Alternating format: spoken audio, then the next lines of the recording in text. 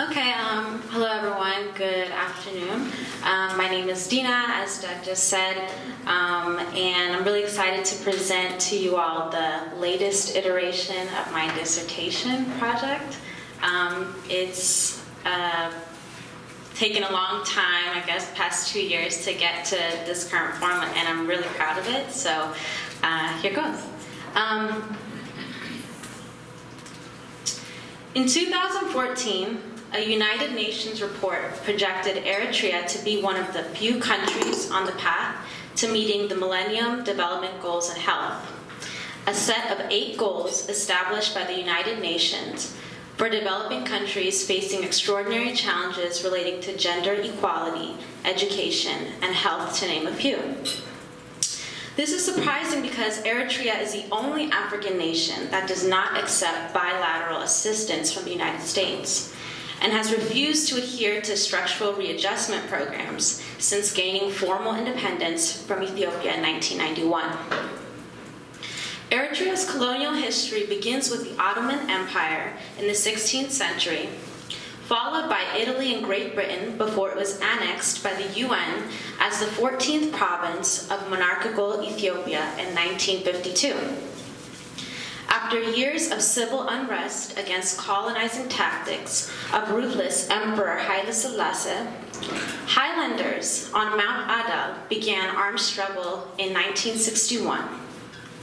Warfare lasted for three decades until guerrilla fighters were able to liberate all cities and towns of the Eritrean territory.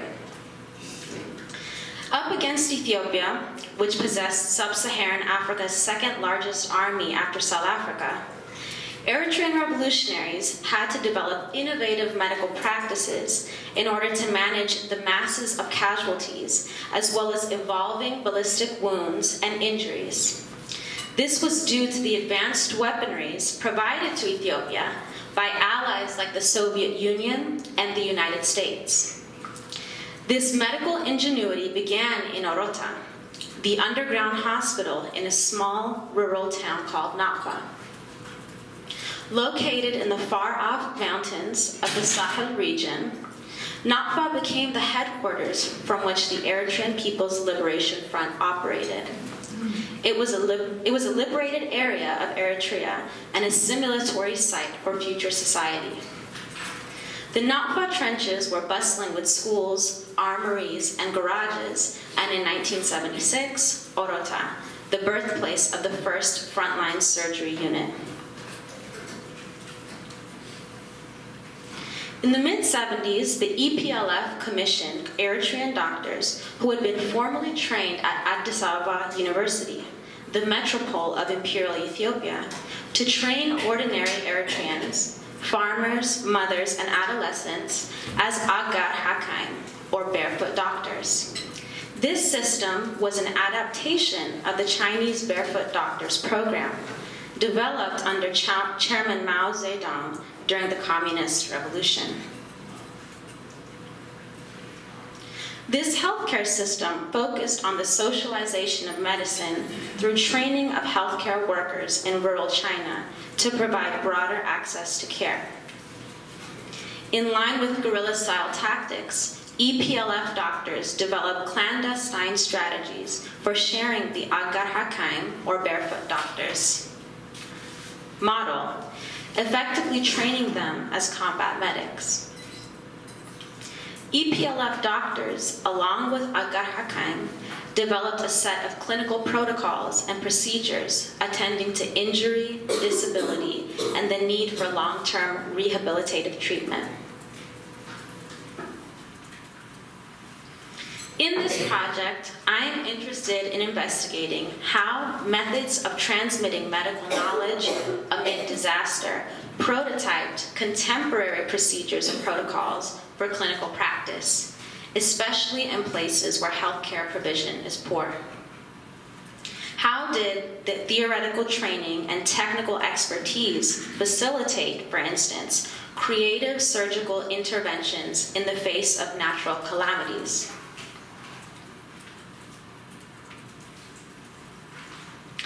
I am incorporating a mix of archival research, semi semi-structured interviews, focus groups, and ArcGIS mapping in order to chart the medical geography of healthcare in Eritrea and build upon existing discourses and gain new insights relating to medical expertise in situations of turmoil, Sino African relations, especially given Eritrea's continued partnership with the People's Republic of China through the construction of the nation's largest hospital, located uh, today in the capital city of Asmara. It was actually named Orota Hospital after the underground hospital at Nakfa. Uh, and finally, building on conceptions of the relationship between statecraft and nation building, medicine, and science and scientific expertise. Um, and so through my project, I guess the next step of my project will be continuing to locate um, uh, veteran Agar Hakaim or combat medics, medical doctors, um, as well as veteran physicians and patients who were treated in the underground hospital um, and other underground hospitals throughout the Eritrean territory. Um, and these photos here were actually, these archival photos um, were taken in the 1980s by a photographer named Fritz Eisenlöffel, who was a Dutch uh, photojournalist, and he was actually commissioned to take these photographs by the EPLF in order to document life um, and uh, the strategies used for uh, survival and sort of nation building during this time. So, uh, um, thank you for listening, and I'm excited to hear any feedback or questions, uh, comments you may have.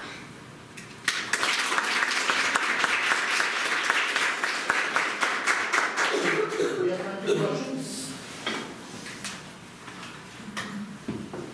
do you put this in the context of a larger history around uh, medical innovation and war?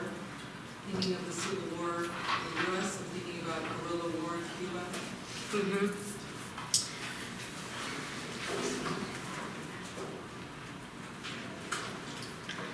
Do you mean uh, medical innovation as is practiced in other sort of war situations? Yeah, I mean, what, what, what do you think would be sort of the broader historical framing of what you're observing? Yeah, I think that um, on the one hand, what my project contributes to is how we might understand war medicine, um, which there uh, isn't as much anthropological work on.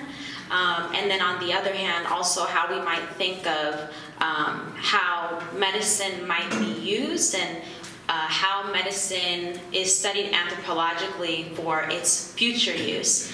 Um, one of the things that oftentimes I kind of hear whenever I talk about my project is that, you know, this is a very exceptional situation and uh, clinicians, for instance, might not need to know about this kind of information, but um, I would argue that uh, this is still something that's very possible today, and that's why this project is in, important for us to really mine. You um, going to be thinking through more broadly the relationship between contemporary Chinese capital investment in Africa and then this coming out of a longer history of sort of socialist friendship? I mean, what, um, how do you situate this within those broader, uh, more imperial, capitalist imperial trajectories? Yeah, I really like that question because um, one of the things that's really interesting about how the government of Eritrea does uh, foreign policy or makes um, deals with, with these um, foreign investors is that um, they require foreign investors in after making a deal with, with the government to um, only do so if they leave their equipment in Eritrea when they're done their, all their tools, and and, um, and also Eritreans are required to, to do the actual labor. Um, and so thinking about how unique, first of all, the um, colonial history of Eritrea is to begin with in terms of it being most recently colonized by another African country, I think that this sort of uh, complicates how we might think of colonialism in Africa more, more, more broadly, um, and also what it might look like to think about um, how Africa or how countries in Africa um, or other developing countries um, in the world today might do business with uh, the People's Republic of China. So um, it's just a fascinating situation. and I'm wondering about deeper historical continuities in medical practice, and if you have any access to you know, how that may influence what actually developed during the period of the, the, uh, the revolt. Yeah, um, one of the things that's really fascinating about charting this medical uh, history is actually the fact that prior to the mid 70s, wherein um, this underground system um, began, uh, there was no organized way of doing medicine. And uh, guerrilla fighters were dependent on traditional ways of uh, knowing as it related to medicine. Um, and some of that is sort of tied into ideas of um, witchcraft, what we might call witchcraft, or um, sort of like religious practices. Um, and that's something that today uh, people in Eritrean society are trying to grapple with uh, is uh, the balance between more biomedical approaches um, versus what a lot of people still deeply believe are um, traditional sort of ways of healing. Um, and so it's interesting to tease out when the call to commission these um, sort of more formally educated physicians um, occurred. Yes, and then yes. Um, so maybe this ties in with what um, Ananda was, was asking about. it's not really a question, more it's just kind of a comment about if you had looked um, towards the contemporary situation in Colombia, where the demobilized guerrillas, um, so all the medical practitioners who are trying to actually get officially recognized that they're that they were nurses and they were doctors in the in the war and all the difficulties that are happening um, for that sustained recognition for them to take the exams, for instance, to get their nursing degrees recognized and things like this.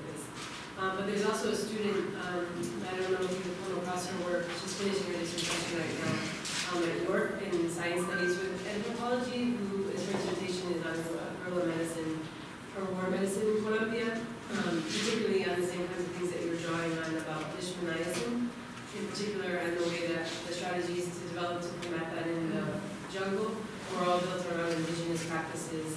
Anyways, and that's a part we're, we're, we're learning from, and then um, the U.S., the military um, that did not allow the medication to be circulating outside of the military hospitals for the, the civilian population that are all affected by similar disease. Anyways, there's some interesting things. I can be in touch with her. Her name's Lina Pinto Garcia. You might like to be in touch with her or someone else that you can ask some of these things. Yeah, thank you so much for that, um, for your comment and uh, for wanting to connect me um, with this person. The other thing that's interesting um, that relates more um, to the how I, I'm trying to link the historical to the contemporary with uh, medicine in Eritrea today and healthcare in Eritrea today, is that um, in 2009 the UN sanctioned uh, put, put sanctions on um, on Eritrea, and so that really limited. Um, just, I mean, definitely the the economic uh, the situation, but also the ability for um, Eritreans to acquire raw materials, um, and and so during the uh, underground hospital sort of um, era, uh, there was also an underground pharmaceutical uh, laboratories where people were, where they were manufacturing actually um, penicillin and other types of antibiotics, and so that led to a standstill in the possibilities of being able to produce, uh, you know, medicines um, in, in, the country, and so that also complicated the situation of healthcare um, as it is today. And so recently, the sanctions were lifted, and so this is sort of a new time for us to see where things will go. Um, yeah. Thank you very much.